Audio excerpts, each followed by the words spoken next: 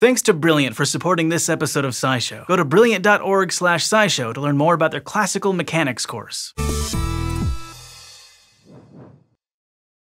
If you ever happen to find yourself in southwestern Australia, pour some water on a seemingly empty spot of dirt. You might just wind up with a pool full of teeny fish. Salamander fish are tiny, long-bodied fish that are found only in the southwest corner of Western Australia in ephemeral pools that form on peat flats. The water they live in disappears in the summer months from January to late May. But that's no problem for these amazing little fish, as a pair of ichthyologists documented in a paper published in 1989. They were monitoring 20 two pools to gain insights into salamander fish, since there was very little known about this species. So they were watching as the water levels got lower and lower until finally the pools dried up entirely. But there were no fish bodies left behind in the dry sand, which was a bit perplexing. Then the researchers dug down, and there were fish alive, just hanging out in the sand on the water table. That's when the pair got an idea. They brought in a fire truck and artificially flooded the pools with 2,000 liters of water. Within minutes,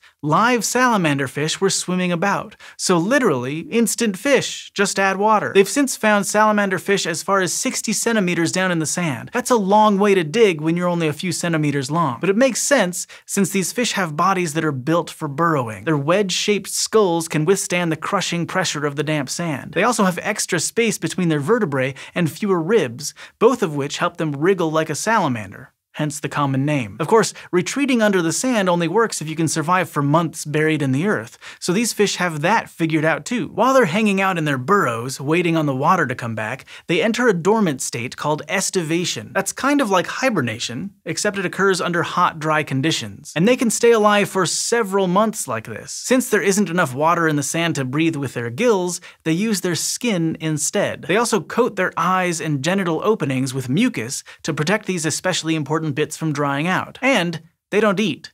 They rely on stored fat. Just in case all of that wasn't hardcore enough, I feel like I should point out that even when there is water in their pools, it's pretty gnarly. Because of the breakdown of leaves and other organic matter, the water is dark brown and has an average pH of 4, which is a thousand times more acidic than plain fresh water. The pools also experience huge temperature swings, like from 16 to 34 degrees Celsius in a 24-hour period. So not only are these fish super burrowers, they're ultimate survivors. And they've been at it for a long time. They're the only species in their entire family which split off from other fish about 240 million years ago. Of course, we've only just begun to learn about them in recent decades. Further research will almost certainly reveal other traits that help them live their extreme lives. That is, if there are any salamander fish to study. Unfortunately, climate change is further drying up their habitats, and that means their next summer disappearing act could be forever, unless some humans step up and save them. Thanks for watching this episode of SciShow, and thanks to today's sponsor, Brilliant. They offer fun, engaging courses in STEM topics so they can help you dig deeper into the topics we talk about on SciShow. Like,